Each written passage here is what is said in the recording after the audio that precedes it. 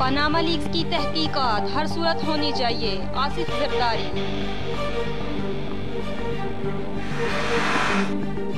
Khyber agency में forces की फजाई और जमीनी कार्रवाई, छह दहशत गर्द हलाक।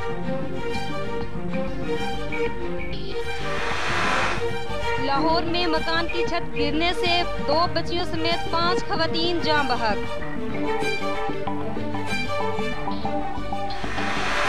कराची के शहरी मुबैना अगवा जैसी अफवाहों पर कान न धरें। आईजीसी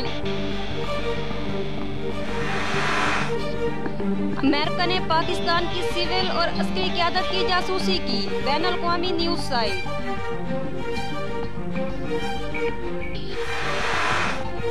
महमूदाबाद में फायरिंग से खातून समेत दो अफराद जहाँ बहक। वज़ीर आज़म आज लाहौर, सियालकोट मोटरवे का अफ्ताह करेंगे। इस्लामाबाद और रावलपिंडी में तेज हवाओं के साथ बारिश, मौसम खुशगवार हो गया।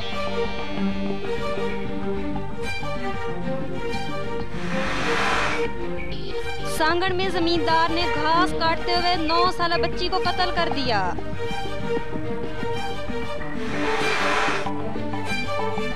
यू ओलंपिक्स शानदार आतिशबाजी के साथ इख्ताम पजीर। अमेरिका 107 मेडल्स के साथ सरे पेरिस।